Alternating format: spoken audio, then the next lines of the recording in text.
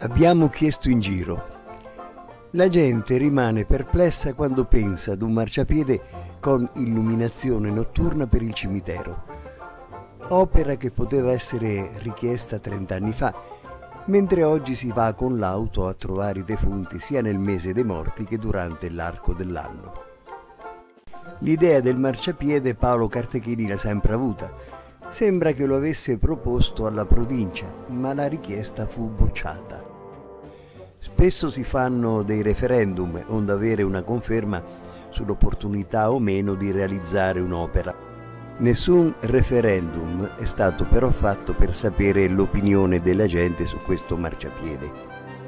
Quindi vengono spesi 410.000 euro a capocchia. Non sarebbe stato meglio se si fosse ampliato il parcheggio delle auto?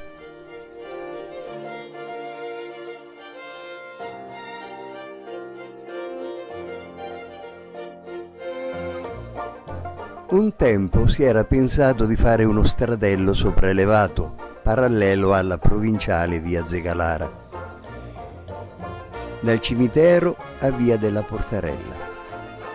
Proposta senza senso pure questa, dato che 410.000 euro sarebbero potuti essere spesi meglio, almeno per il marciapiede dissestato di Viale Montolmo, che è la strada frequentata dai cittadini per andare a piedi al cimitero.